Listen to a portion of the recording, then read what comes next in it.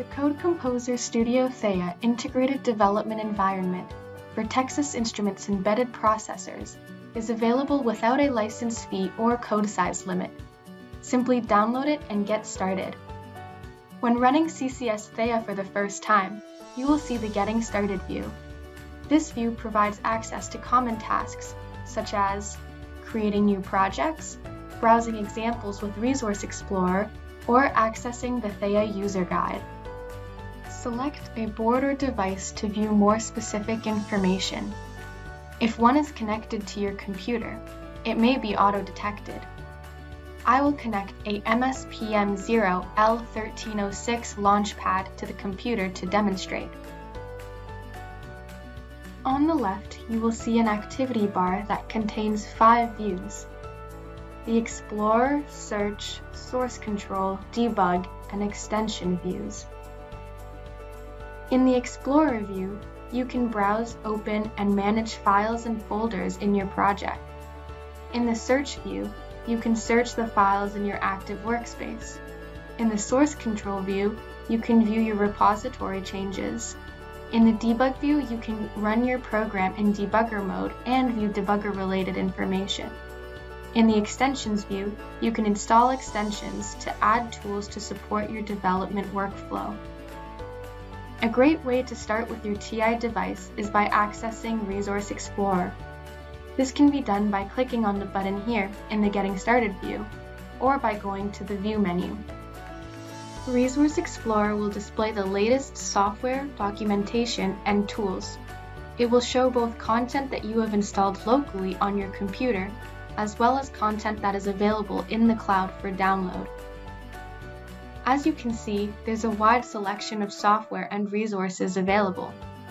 It is recommended to select the development board or device you are working with to filter the content.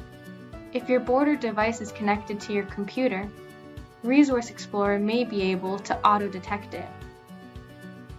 For this device, there is a software development kit available, the MSPM0 SDK. By browsing through the SDK, it shows all of the documentation and example applications that are part of the package. It is possible to view the source files that are part of an example directly in Resource Explorer. Simply select them and they will be displayed. You can do this even if you have not downloaded this software package. When you find an example that you wish to use, you can import it into CCS Theia. To be able to import an example, the software package it is part of needs to be installed. Note that in CCS Theia, projects are folder-based.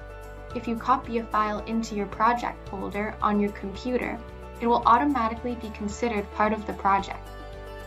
We can now go ahead and launch the debugger. You can do this by going into the Debug view and clicking the Start Debugging button. The Debug view focuses on showing the information necessary for debugging applications. You can view threads, the call stack, variables, watched expressions, and breakpoints. There is a selection of buttons used to control your debug session.